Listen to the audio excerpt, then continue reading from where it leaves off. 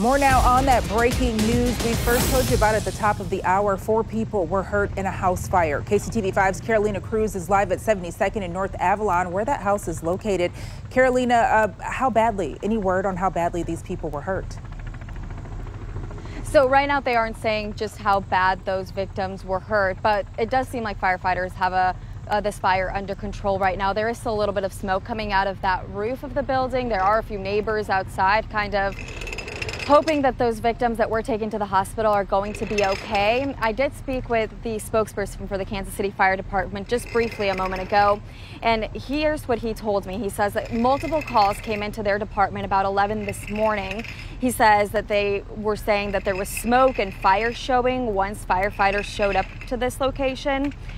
Firefighters found one person at the door and then were told that four out of five people that live at this house were taken to the hospital. No specific ages yet, but we are working to gather more details on that. And we will be speaking with the spokesperson again here shortly um, as he's gathering more details. And we'll be able to provide you a little bit more about this coming up later this afternoon in our uh, later evening newscast. But as you can see, the fire pretty heavily damaged this house here. It is just a single family house.